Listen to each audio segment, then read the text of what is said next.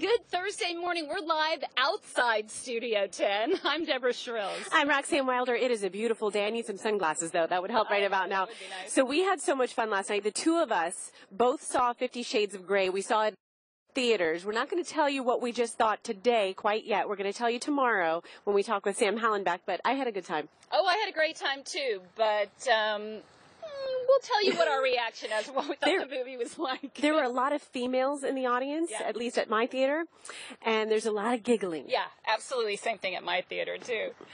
Well, we are going to tell you what's happening in just a minute outside, but first we want to tell you about a contest that we're having. The Renaissance Festival returns to MOSI this weekend, and Studio 10 wants to send you to the festival. And all you have to do when you hear this sound, give us a call, be the 10th caller, and you will win a four pack of tickets. That's right. This contest is brought to you by Studio 10 and the show that, uh, or actually the Bay Area Renaissance Festival and the show that loves a good game of human chess. Studio Always. 10.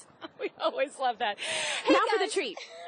We're outside today because we are talking about something that's happening this weekend, and I don't mean Valentine's Day. I mean the night parade, and that is the Krewe of Sant'Yago night parade. And here we're going to talk to a couple of guys, actually three different guys, who are going to tell us a little bit about it. We have Louis Lampanello and Anthony Arena. Louis, you are the chairperson of the parade. For those who have not been out to Ybor City for the parade, tell us a little bit about it. Well, it's a beautiful celebration of Tampa Civic Pride. Uh, come out to Ybor City Saturday, February 14th, for the beautiful lights and the celebration in Ybor City. All right, and uh, Anthony, I know you are the El Baron of the crew. Tell me what that means, and give me a little bit of background on the crew. Well, El, El Baron, El Baron, as we say, is essentially the president of the crew. It's, uh, it's an honor for me to have the title and to, to help lead our crew this year. The krewe of Sant'Yago, it's, uh, we have our, we'll be showcasing our 43rd king and queen, El Rey y la Reina, who happen to be my father and my daughter at the parade this Saturday at 7 o'clock in Ybor City. But we've been around since the early 70s and been proud to be the host of the night parade since then. And when you say night parade, you mean night with a K, correct? Absolutely, just like these nights here. But it is at night, and it does begin at 7 o'clock. Tell me a little bit about what you guys do the rest of the year, Louis. Well, we host several events, and we have a bunch of community outreach that we do. We have our coronation ball, our debutante ball, and uh, you know we do the best we can to raise money for our education foundation. Wonderful. And there is a way that um, people can meet you and meet the chairperson, or I guess the grand marshal of the parade. Apparently, Jerry Springer is the grand marshal, along with, let me make sure I get this name right, from Glee, uh, Curt Mega. And that's at 4 p.m. at the Cuban Club, right?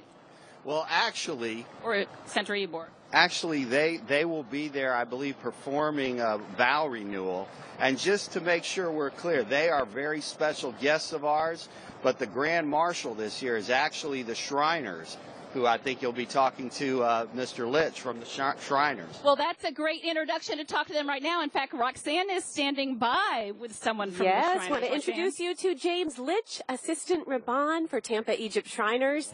And for those of us, we know all the philanthropy that the Shriners are involved with. But give us a story behind you.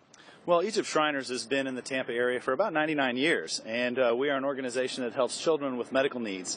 But more importantly, or not more importantly, but as important this weekend, we're trying to uh, show people in the community who we are, what we are, and thanks to the Knights of Santiago for giving us the opportunity to be Grand Marshals. Uh, and not only Grand Marshals, but we have a block party on Friday night at the Cuban Club to help celebrate and open the weekend, and we're really looking forward to it. So, James, you have the block party and you also have the pre parade parade. That's where we're going to see the motor corps. Give us the story behind that.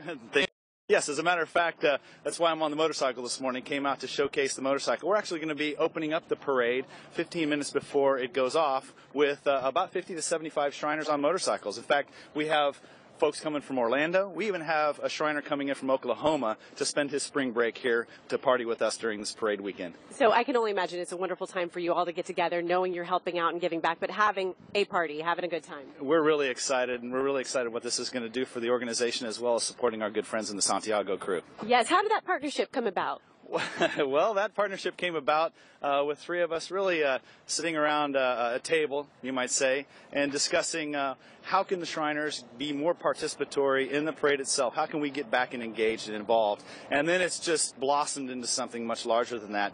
Thanks to Jamie Lawrence and Louis Campanello uh, and El Baron, Anthony Arena for giving us this opportunity to be Grand Marshals. Well, thank you, James. We're going to toss it back to Deborah.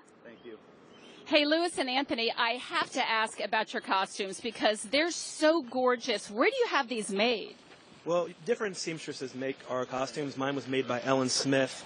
Uh, Anthony was made by Um, I, I, mine was made here in Tampa as well. We we've used many different uh, costume makers to make the costume. All right, I've got to see the back of yours because I understand you have a buccan. Look at that, Buccaneers in Swarovski crystal. You got to love that.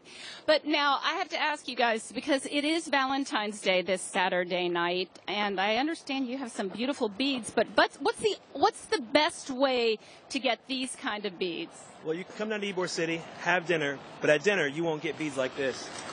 You have to come to the night parade. Oh, I oh, think it's some beautiful beads.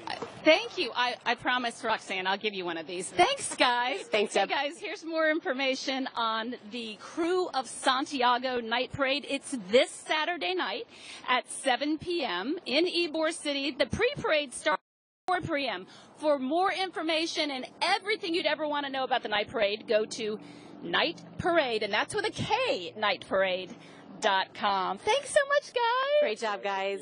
Hey, coming up next, author Lisa Unger is going to tell us